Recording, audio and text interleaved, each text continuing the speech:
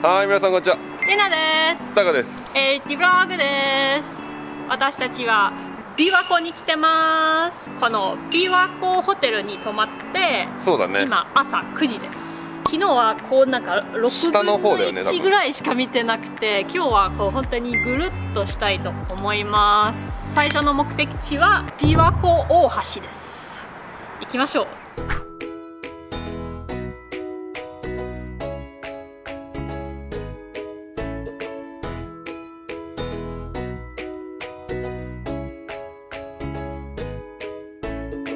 琵琶湖大橋に今から左に曲がって多分橋に乗ると。高さはあるけどねだかこうこうなってるからなんか景色がいいらしい。歩いても行けると。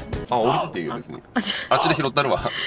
あブログしながら歩いてくらいじゃんこうやって。えだってあ払わなきゃいけあないでしょ？ETC でお金払うの？え琵琶湖大橋ってお金払うの？こんなん無料で通らせてくれるいくらだと思う？300円。私はそれぐらいかなと思って。おい真似すんな 150円かな。あ120円。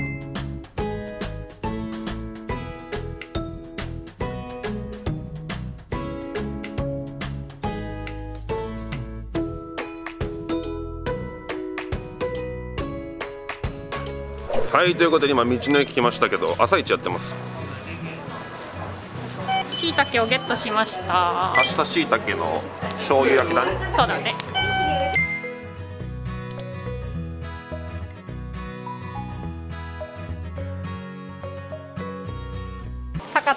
カタカタカはい。見てこの小さい柚子え？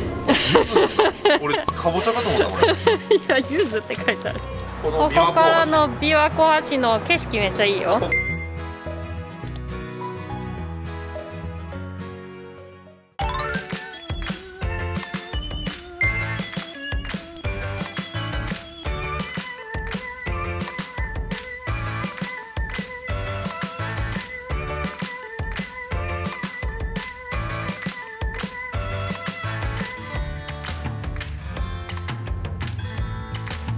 はいお参りしました。ここは白ひげ神社です。延命長寿の神様かな。琵琶湖の中にも鳥居が入ってるけど、ここになんか大通りがああるから渡らないでくださいって書いてあるから。あの車がすごくて危ないから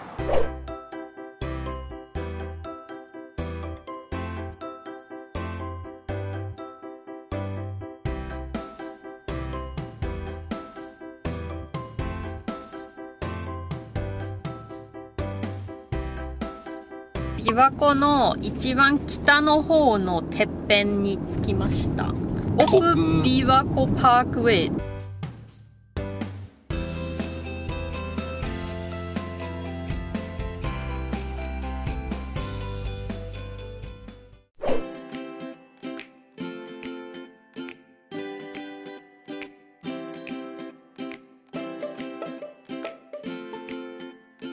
はい。残念ながら私はイメージした景色とちょっと違う琵琶湖全体見えるかと思っ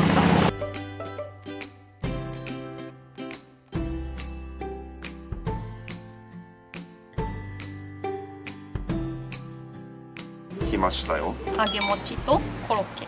揚げ餅。うん。柔らかい。うまっ。うまっ。うん。ベリーグッド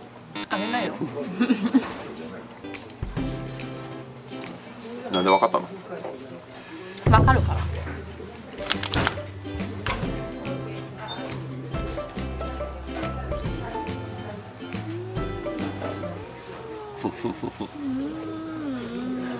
一番うざい顔してるよ。コロッケ。近日食べた近江牛コロッケと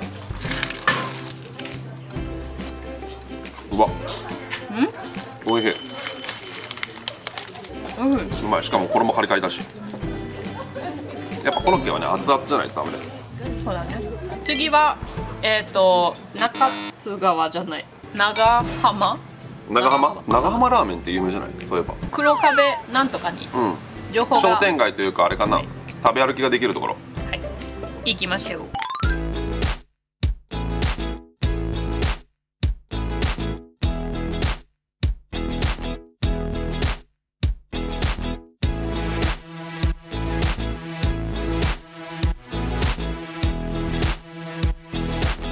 長浜の黒壁というところに着きました。雰囲気すごいね。そう。なんでこんな雰囲気？のわかりません。おいおいリサーチリサーチ。うわすご。ね昔っぽいやつ。ね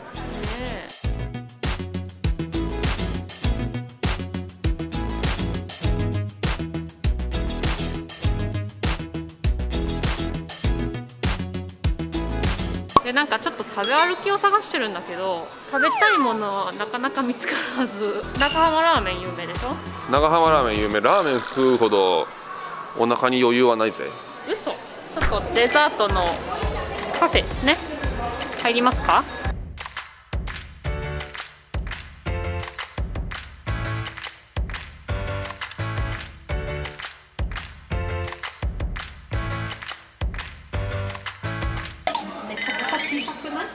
ケーキはいこうこうやって。一口。ミルクティー入ったもちっとダジャレ餅を食べてもちっとするってダジャレ。そう。あうまっ。上の部分がカリッカリになっててカタラナみたいなうまっ超うまいよこれこれこれこれこれこれこれ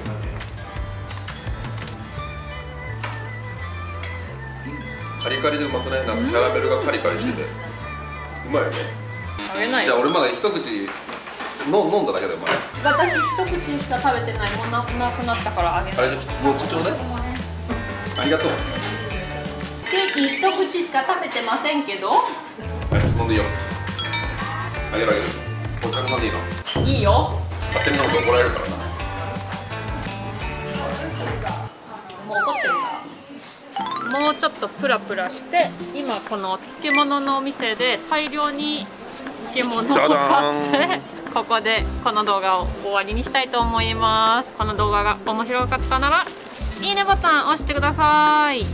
まだチャンネル登録してない人はぜひチャンネル登録もよろしくお願いしますではまた次の動画でも会いましょうね。バイババイイバーイ。